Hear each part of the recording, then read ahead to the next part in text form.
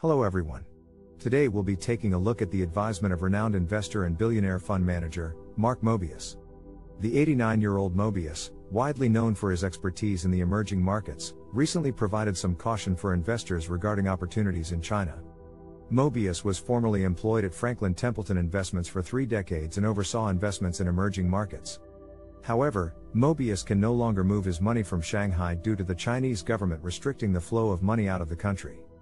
Mobius urged caution from investors, who have historically had a bullish view on China's economy, due to the government's increasing control oriented approach. Instead, Mobius recommended looking for more attractive opportunities in India.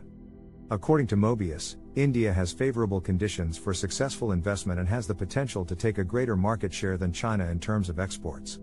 Additionally, Mobius wrote in the Economic Times that the number of Indian families moving into the middle income bracket continues to increase, leading to increased spending on services and additional economic activity. Turning his attention to the United States, Mobius stated that the U.S. economy is pretty much in good shape despite high interest rates. Mobius pointed to an increase in government spending due to the U.S. being at war in Ukraine and indirectly with China.